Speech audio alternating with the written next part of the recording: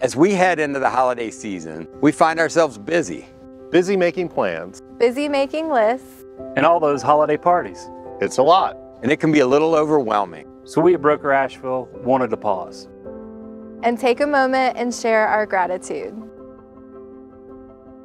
My name is Bree Powers. I am thankful to have found myself in a place where I truly love to live. I am so grateful that I get to call Western North Carolina my home. My name is Jeremy Laster, and I'm thankful that the Christmas Jam is back in town. So if you have any extra tickets, I need two.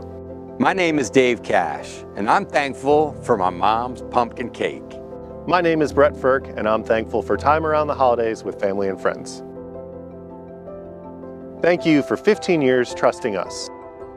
Relying on us. Supporting us. Challenging us. At Broker Asheville, we are grateful for our clients.